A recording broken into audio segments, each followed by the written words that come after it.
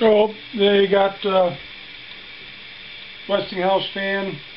The original asking price was ninety-five dollars. The uh, swivel part looks like it needs repair.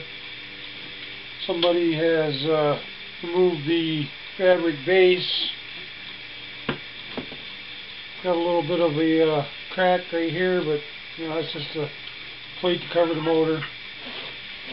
Says Westinghouse on the front.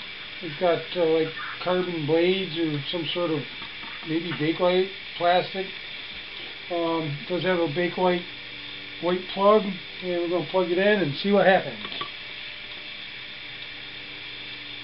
Okay, got it plugged in, and looks like it's a three-speed. There's one speed.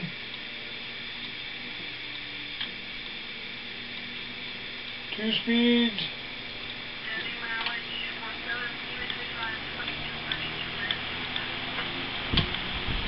Okay, three speeds, and she kicks up quite a bit of air.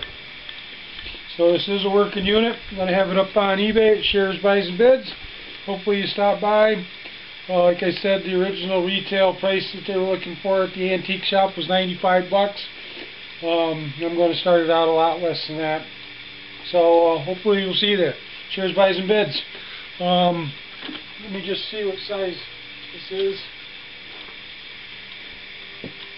This fan stands uh, 21 inches tall, about 18 inches diameter, and uh, that's about it. Have a great day. Thanks.